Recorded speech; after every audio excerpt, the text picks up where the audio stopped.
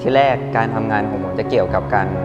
นำเสนอชีวิตของการเป็นศิลปิน ปัญหาของการเป็นศิลปิน แต่ว่าครั้งนี้ได้มีโอกาสย้ายมาอยู่ที่กรุงเทพได้มาใช้ชีวิตในเมือง แล้วก็ได้มาเจอปัญหา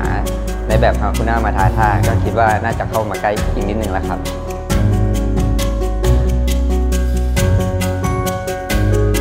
ตั้งแต่ย้ายกลับเข้ามาอยู่ในเมือง ก็คือได้ใช้ชีวิตประจำวัน แล้วก็ได้เจอเหตุการณ์แปลกๆเต็มไปหมดเลย ตั้งแต่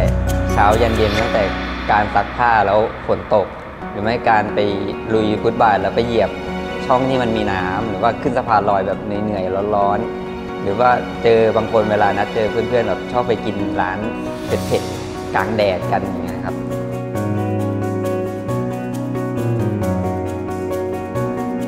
นิทรรศการครั้งนี้ก็คือเจอปัญหาแปลกๆ อย่างเช่นพวกสะพานลอยที่มันพัง แล้วก็ไม่มีการซ่อมแล้วเราก็ต้องทนกันใช้ ไปเรื่อยๆ แล้วพอมีคนทนไม่ไหว เริ่มมีการส่งเสียงออกมา เราช่วยกันด่า และทีนี้เริ่มมีการซ่อมสะพาน แต่ไม่ได้ซ่อมให้มันกลับมาเป็นสะพานแบบเดิม แต่เป็นการทำสะพานเหล็กขึ้นมาข้างๆกัน และทีนี้เขาก็ให้เราทนกันใช้แบบนั้นกันไปเรื่อยๆ จนมีคนทนไม่ไหวอีก ก็ต้องขับเคลื่อนด้วยการด่ากันไปเรื่อยๆจนกว่ามันจะกลับมาเป็นเหมือนเดิมมันก็เลยตลกดีครับ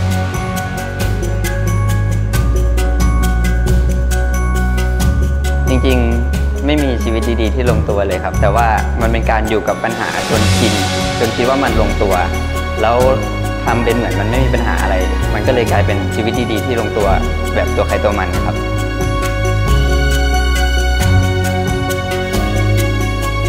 พอได้เห็น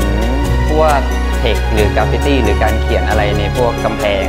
หรือว่าตามเสาไฟฟ้าอะไรพวกเนี้ย รู้สึกว่ามันมีทั้งการเขียนเล่น แล้วก็เรื่องจริงจัง บางเรื่องก็ซีเรียสมากๆ แล้วรู้สึกว่าบางอย่างอะมันก็สามารถขับเคลื่อนสังคมได้ ก็เลยคิดว่าเอ้ยสิ่งนี้มันน่าสนใจ ก็เลยเอาลองเอามาใช้ในงานดูบ้าง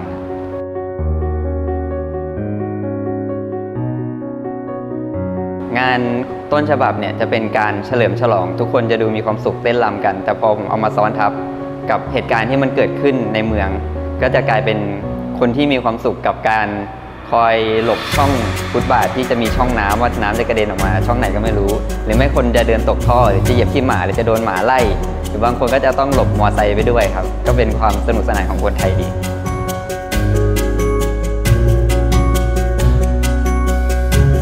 เมืองไทยเนี่ยเป็นเมืองที่มีอากาศร้อนมาก และคนไทยก็ชอบกินเผ็ดมากกลางอากาศที่ร้อนมากเหมือนกัน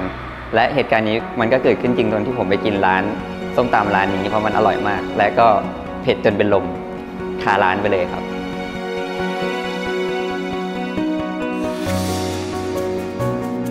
กรมอุตุบ้านเราเนี่ยขึ้นชื่อว่าแม่นมาก แดดร้อนๆเราก็ออกมาล้างรถกัน แต่พอล้างเสร็จปุ๊บฝนตก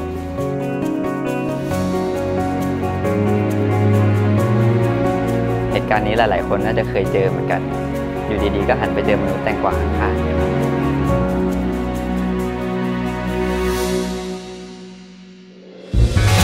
ำหรับคนที่ตากผ้าแล้วผ้ายังไม่แห้ง ก็ขอจะใส่ตัวนั้น ลุยฟุตบาทมาข้ามสะพานลอยร้อนๆมา หลบขี้หมาดีๆ หลบท่อดีๆ และหลบมอไซค์ดีๆ และมาพบกันครับ